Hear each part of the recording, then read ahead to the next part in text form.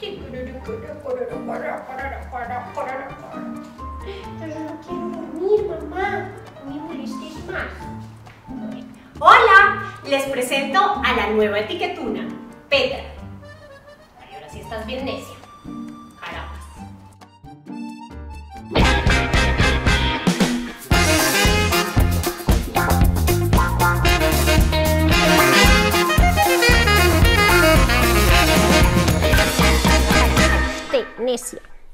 Y les presento a la nueva etiquetuna, a Petra.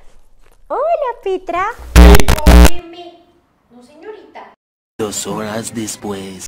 En mi casa siempre hubo muchísimos perros. Yo recuerdo que cuando éramos chiquitos mi papá siempre nos cumplía todos los caprichos y tuvimos tres Tommys, dos Dinas, así como que siempre terminábamos poniéndole el mismo nombre cuando uno se perdía o algo le pasaba. Entonces después el mismo es mismo, así sucesivamente. Y la verdad es que a pesar de tener perros toda la vida, siempre fui muy alérgica y he intentado absolutamente todo. Me he hecho regresiones, me han dicho que tiene que ver con las emociones, me han puesto aceites, me he puesto vacunas, me he puesto absolutamente todo lo que existe en el mundo y la verdad me seguía dando alergia con el agravante de que además de que me da una alergia en el cuerpo, también soy asmática y llega un punto en el que me da alergia, se me cierra la tráquea y chao. Entonces, todo al final era como, no, no, no tengas perro, no tengas perro, no tengas perro.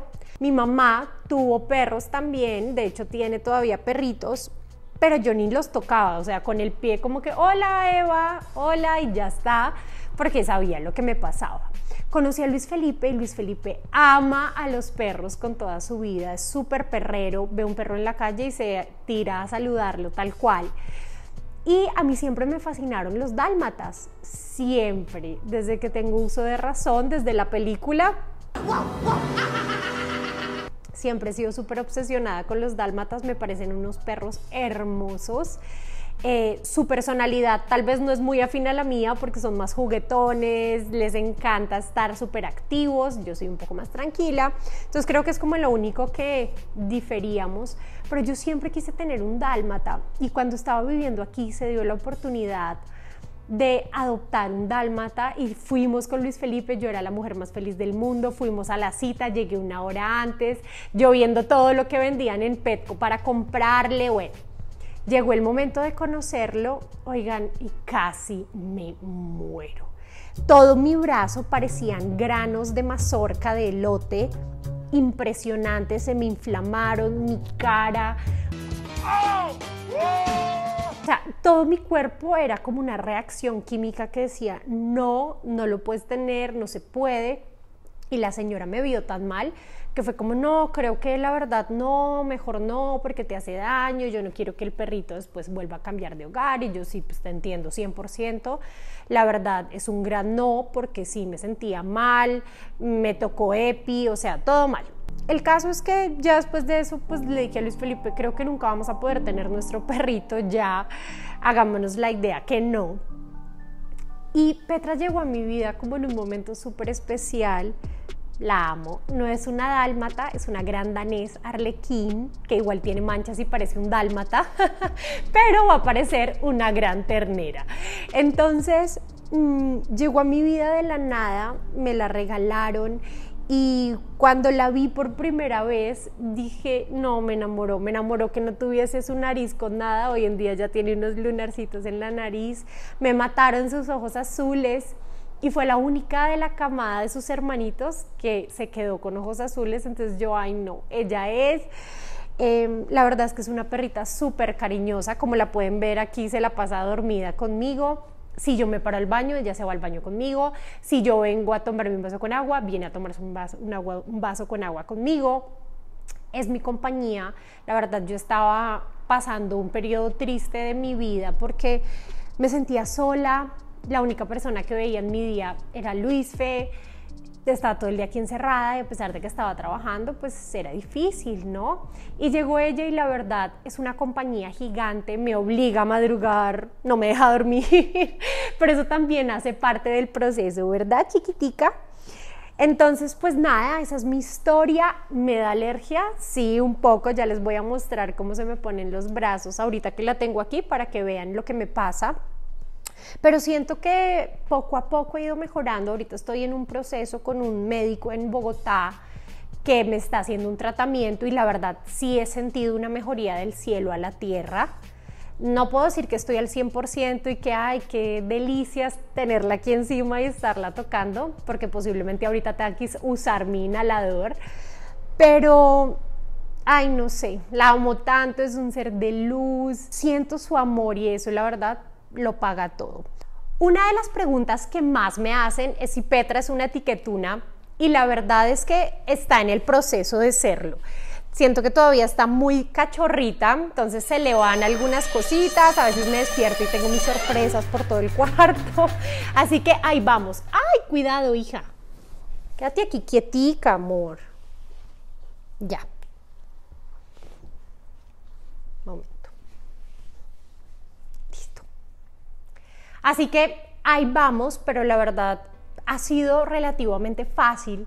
Hace poco descubrí en Masterclass, que es una plataforma donde están las personas más expertas, tops en todos los temas. Hay clases desde Serena Williams hasta Anna Wintour. Y hay una clase con un tipo que es experto en el adiestramiento de animales. Óyeme, ¿qué estás haciendo, señora? Yo hablando de lo educada que eres y tú mordiendo el mueble, no me hagas quedar mal. Em, en el adiestramiento de animales y él enseña que la mejor forma de enseñarle a los animalitos es por medio de la educación positiva, de reforzarle las cosas positivamente, de no estarla regañando, gritando, etcétera, sino al contrario, cuando está haciendo las cosas bien, premio. Y hablar siempre desde el amor, que funciona exactamente igual que con las personas. Yo siempre les digo a ustedes que uno tiende a, caer en regañar y estar viendo siempre lo malo y en buscar siempre qué corregir de los demás, pero pocas veces nos enfocamos en enaltecer lo bueno y eso tiene un mejor resultado, tanto con Petra como con los humanos también. Así que ahí vamos en el proceso, nunca voy a olvidar la primera vez, la primera noche con Petra, Diosito, que fue pesadilla.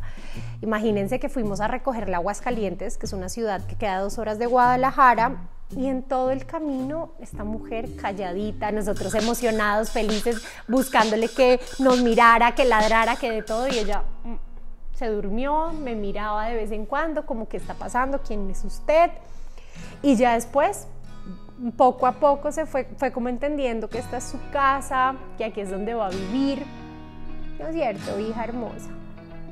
Y ahí va, esa primera noche fue pesadilla, me acuerdo que ni el Polly ni yo dormimos, ni ella mucho menos, se la pasó llorando por la mamá, eh, y a pesar de que había tenido su tiempo como de destetarse con su mami, pues obviamente no fue fácil separarse de sus hermanitos, me imagino. Entonces Luis Felipe se pasó a la cama de ella, al piso literalmente, durmió con ella hasta que se quedó profunda.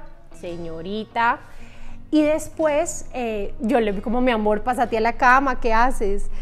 Y ella como que cuando se dio cuenta que se había ido, que al ratico volvió a comenzar a llorar y entonces otra vez se pasó el pollo a la cama, pero obviamente uno lo hace con amor, pero ay, esta mujer hace que todos los días me despierte ahora a las 6 de la mañana a limpiarle todo, a darle de comer. Antes me despertaba a las 8 como una reina, pero hoy en día pues no se puede.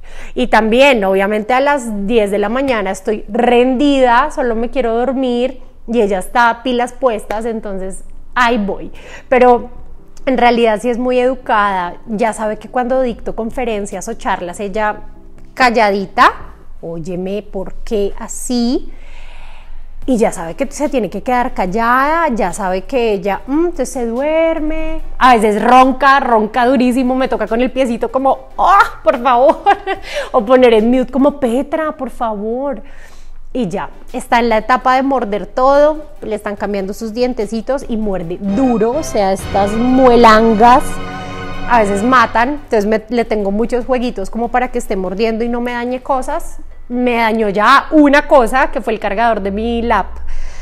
Y bueno, lo remendé, lo arreglé, pero ahí vamos, ahí vamos. La verdad es que siento que el secreto también es que le he dedicado demasiado tiempo, todo el día estoy con ella y aunque estoy trabajando estoy pendiente de cómo está, de qué está haciendo, de su comida, de sus vitaminas, de su premio, de bueno, absolutamente todo. Esto es un trabajo completo 24/7.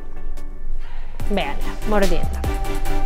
Pues eso es todo, mis etiquetunos. Espero que hayan disfrutado, se hayan enamorado de esta loca. Tiene un Instagram que se llama Petra la Gran Danés por si quieren seguir sus aventuras de loca y ver cómo va a crecer. No olviden suscribirse a nuestro canal. Un abrazo, chao, chao.